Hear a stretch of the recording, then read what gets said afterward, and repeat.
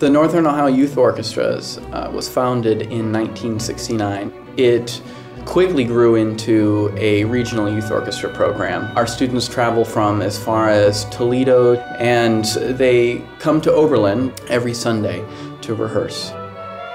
My favorite part is that you get to like play music with people your own age and like the conductors really help you. I like showing like off my violin skills to everyone. It's nice to have like a bunch of people like me like coming together and having just fun with music.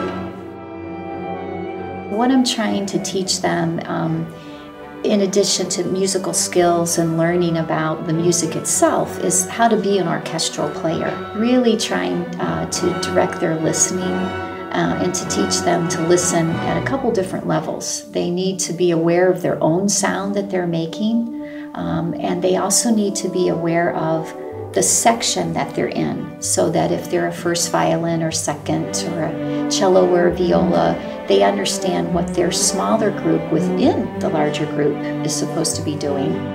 Everybody is responsible for their own, but when you come to rehearsal, you have to work with everybody to make sure all together. You watch the person next to you, you share your notes with people behind you and in front of you, you watch your leader, and the leader has to make sure they're with the conductor so that the leader of the section is with the entire orchestra at that point. When the kids in the orchestra really get into it, that's when I start to have the most fun. Anytime you can get it back and forth and you can get a sort of, you know, everyone's really committed and everyone's really invested and everyone's trying to, to, to play as well as they can, um, then, it, then it's, you know, magic. It's like pretty, like, awesome. Because, like, all all these tones getting together and like pretty much it just joins the whole like the whole orchestra. With Noyo, all the pieces of the puzzle come together. We have the stellar staff of Oberlin alums, and then we have uh, the current students who do our coachings and sectionals, and then we we have the musicians, uh, the most important part of Noyo it's nice to be able to come to Oberlin because it's like Oberlin's so big with the music. It's really nice to be able to work with like the Oberlin students and whatnot because um, they have a lot more experience than what we do. It's nice to um, work with people that aren't too much older than us so they can still relate but that have that extra knowledge.